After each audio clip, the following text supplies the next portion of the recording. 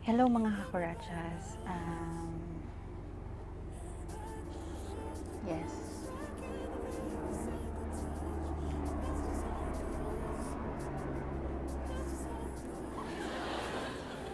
Okay.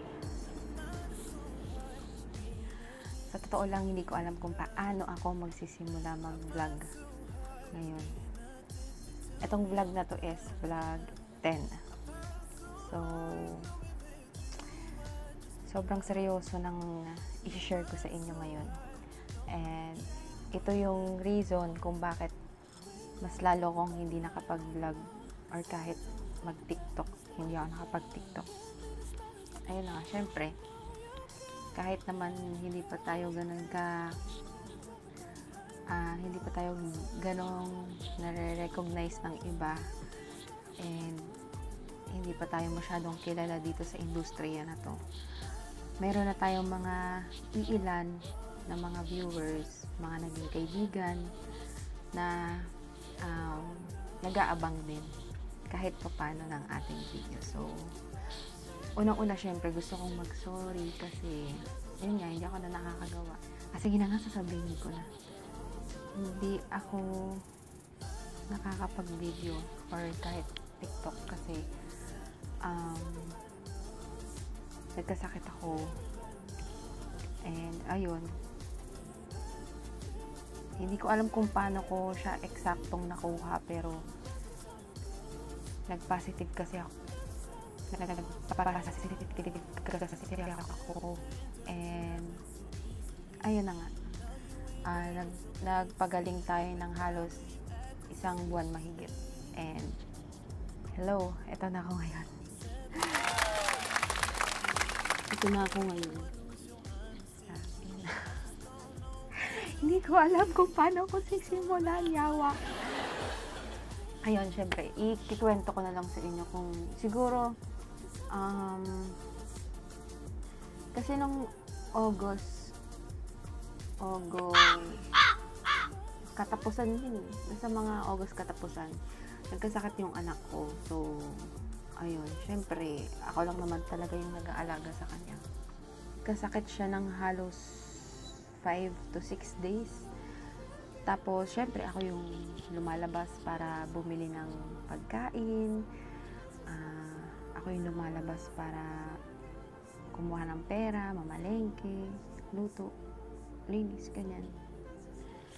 Tapos yun, hindi ako nakakatulog. Sobra.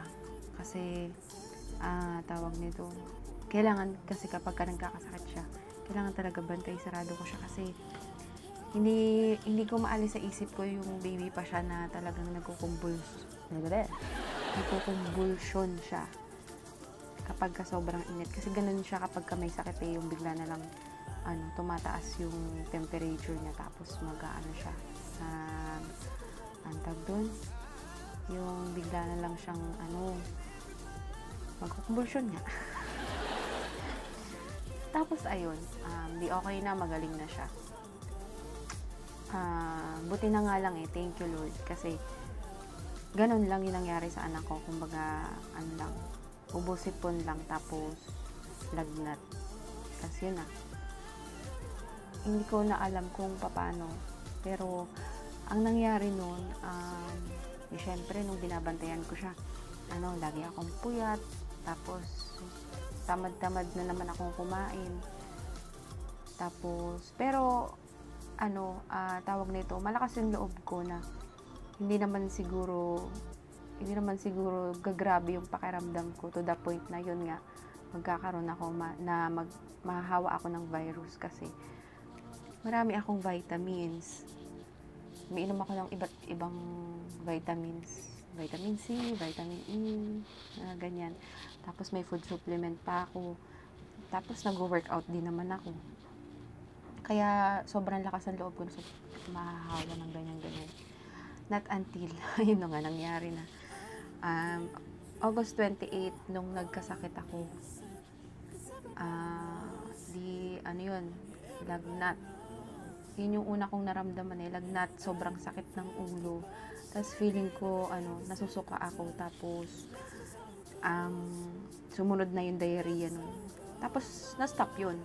Na-stop siya siguro mga after um, six days. Okay na ako, wala na akong lagnat agad. Tapos, pansin ko, sabi ko, okay na ako. Hindi na ako nilalagnat.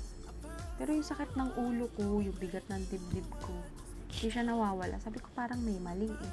Tapos ano, ah, lumipas ng lumipas yung araw. Unti-unti nang nawawala yung panlasa ko, bes. Doon ako kinabahan. Actually, ah, nung mula nung nagkasakit ako, ah, ang nakakaalam lang nun, yung pinsan ko na nandito, yung anak ko, at saka yung kapatid ko na isa na nandito din, nakasama ko sa bahay. Tapos, ano pa nga yun eh, natatawa ko kasi, ah, sunod-sunod kami nagkasakit pati yung lola ko doon. Eh, nung time na yun, nagre-request daw yung lola ko ng salad. Eh, gustong-gusto niya kasi yung salad na ginagawa ko para sa kanya. Kasi di, hindi alam ni mama na meron na akong sakit nung time na yun. Eh, syempre, ayokong malaman ni mama kasi alam ko talaga mag-aalala yun. Eh, ayaw na ayaw ko nag-aalala yun kasi nga, hindi naman namin siya kasama. Tapos, ah, pag na-stress kasi yun, nati-trigger yung yung masamang pakiramdam niya kasi meron na rin si mama ko na sakit sa puso. Kasi marami na siyang nararamdaman. Tapos, ayun na nga, di, yun na, nawala na ako ng pandasa. Tapos, sumunod na nun, grabe na yung ubo ko. Yung sakit ng ulo ko, hindi nawawala.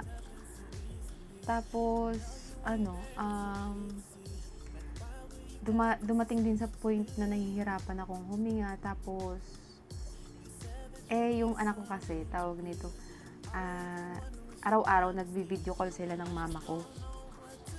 Tapos, ano, sina- pero bago si mama tumawag, sinasabihan ko na sila na wag akong ipapakita, ganyan, ganyan. Tapos, ay, alam din pala nung isa kong kapatid pa na nasa QC na kasama ni mama. Eh, sa kanya na ako nagsabi, sabi ko, parang iba na yung pakiramdam ko. Sabi ko, pakiramdam ko, positive ako, ganyan. Tapos yung palala na ng palala yung pakiramdam ko. Doon ako nagsasabi sa kanya. Tapos, ang tawag nito, ah, yun, hindi niya na natiis na ano, na sinabi niya ko yung momo. Traidor to eh, hindi, ayun.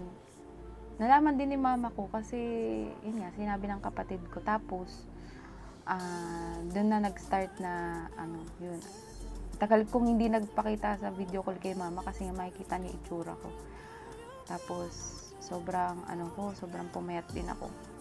Tapos na nalaman ni mama, doon na ako, ano, nagsimulang mag-take ng meds. Tapos doon na ako nagsimula na mag-take actions para maging okay. Tapos, ayun. Um, sobrang, from 54 kilos, tumaba na ako ulit eh. From 54 kilos, bumagsak ng ng ano ng 50 kilos yung timbang ko. Ito yung mukha ko. Sobrang payat. Tapos ito rin yung mga meron akong mga video tsaka mga picture na nakuhaan na oo na nakuhaan nung ano nung time na yon yung medyo okay-okay na yung pakiramdam ko. Kaya kapag ka nararamdaman ko na okay yung pakiramdam ko, ayan. Ayan sila. Ito yung, yung, ano, laging mabigat yung dibdib ko. Tapos kailangan lagi ako magpapausok kasi hindi ako makahinga. Ayan siya. Tapos ito, picture-picture ako ng, tinitingnan ko kasi yung itsura ko. kung sa paggaling ko ba, eh, magbabago din yung pagmumukhang yan. Pero tignan nyo, di ba? Sobrang pumayat. Tsaka, ayun nga, ang pinaka, kahit, ano, kahit ngayon, ngayon okay na ako kasi, eto, nakakapag-video na ulit ako. Tapos, nakakilos-kilos na ako. Kaya lang, ah, ano, grabe yung iniwan sa akin ng virus na yun. Yung katulad ng, sa buhok ko, isang beses, ay, ayun, tapos yung pinaka natakot din ako na, na ano, yung naligo ako, tapos, ang tawag nito, yung pagkasuklay ko, sobrang, ang daming lagas. Actually, pinicturan ko yun eh. Ito siya.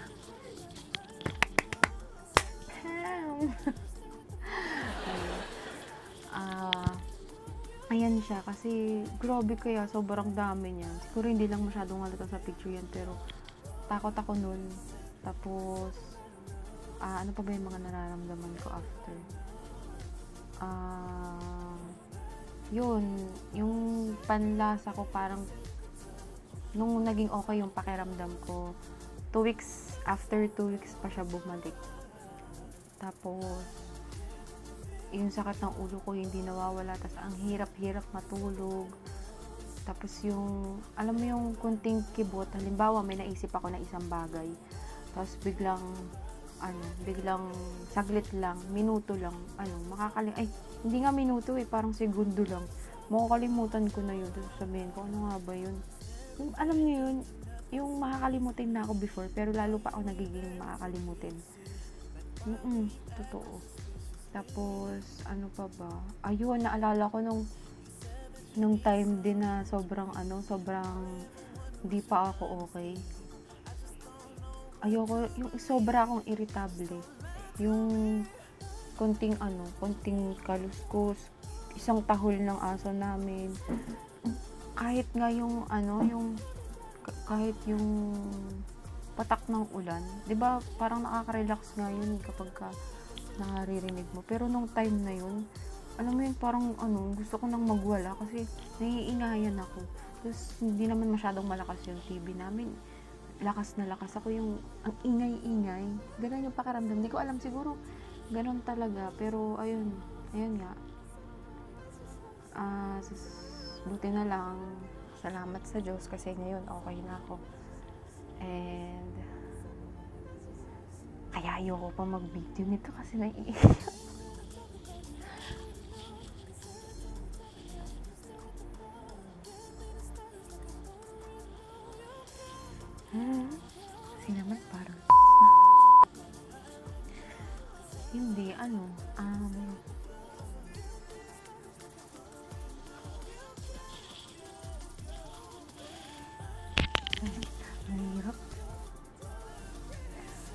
Dumating ako sa point na ang hirap magsalita.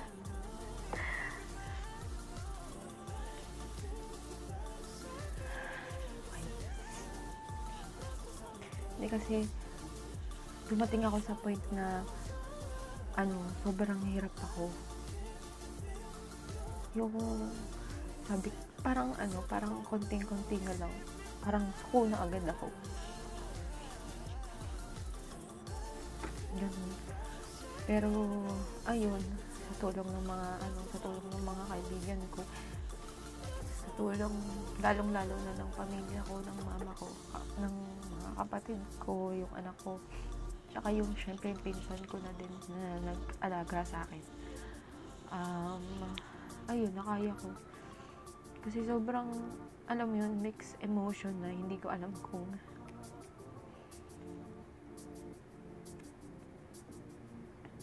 hindi ko alam kung kailan ako gagaling kasi ang hirap-hirap ng nararamdaman ko time na yun.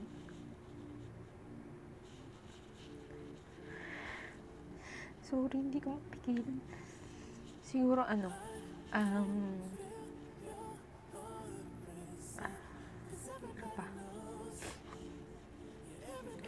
siguro may mga ano pag nagpo-post o kaya uh, nakikita ko ng ibang tao siguro akala nila okay lang ako wala akong pinagdadaanan. Sobrang hirap sobrang hirap ng time na yun. Yung alam mo yung ano yung ang tagal ko lang dito lang sa kwarto tapos bukod sa nahihirapan ka na sa nararamdaman mo. Yung kahit mayakap yung anak mo kahit mali ka na hindi mo magawa kasi natatakot ka na baka mahawa sila. Tapos ang layo pa ng mama mo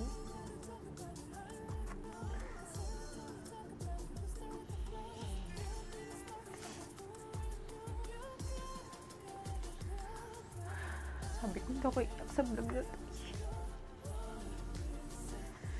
Ay, wait lang.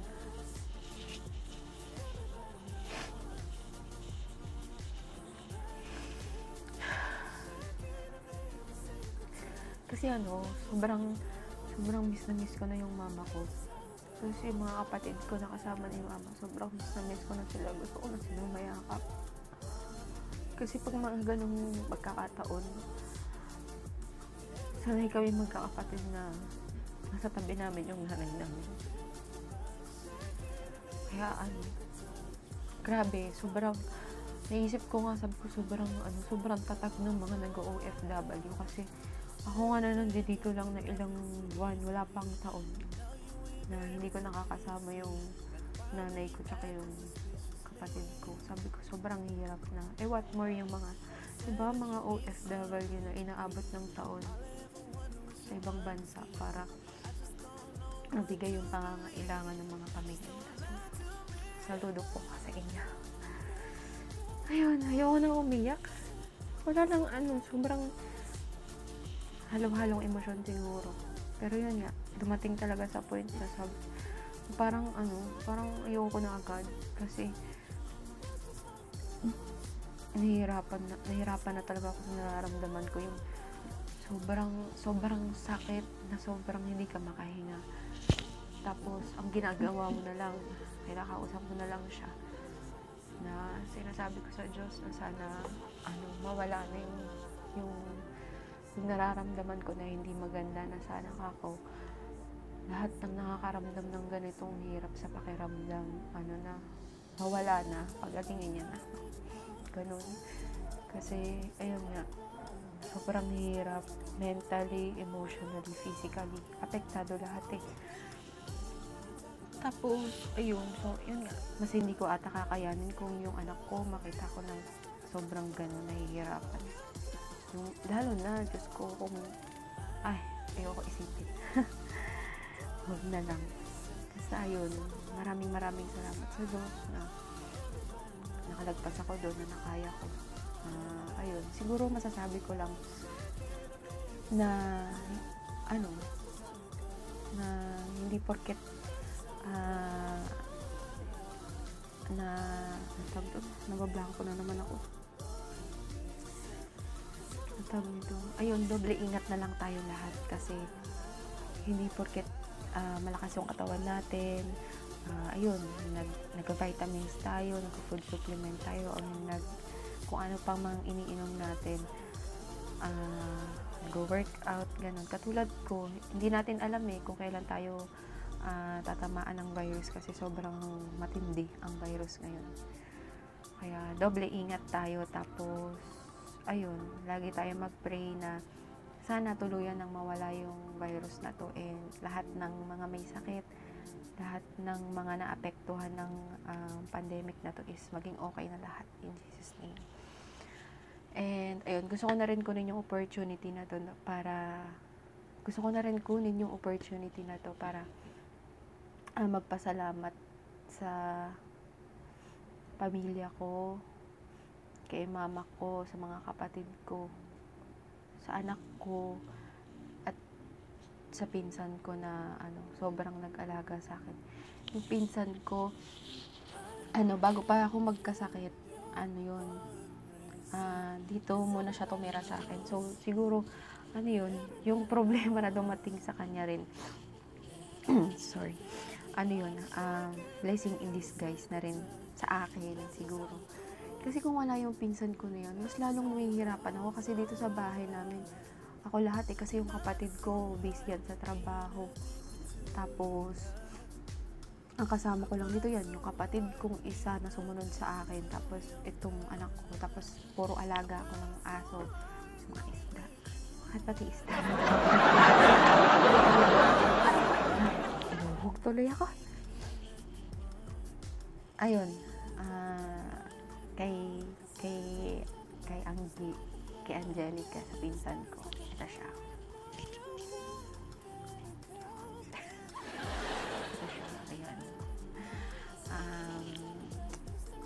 Hindi ko alam kasi hindi kami sanay ng ano eh, hindi kami sanay ng nagdadramahan ng message. Pero, more on actions kami like ayun, tulungan. Kasi, nung, nag, nung time talaga na hirap na hirap ako, siya yung nandiyan lagi sa tabi ko.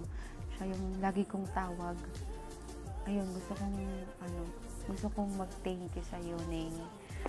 Kasi, ayun, sinamahan mo si ate sa sa pagkakataon na yun nga, na nahihirapan ako. And, um, sorry at pasensya ka na kung ano, naging masungit ako lalo. kung sobrang irritable ako that time, kung mayat maya tinatawag kita, ganyan. Maraming maraming salamat. And, syempre, tatanawin ko yun na malaking utang na loob. And, ganun din ako sa'yo na kapag ka, kailangan mo ng tulong ni ate, nandito lang ako lagi. And, ayun, thank you so much. Ayan, oh, iyak na naman ako.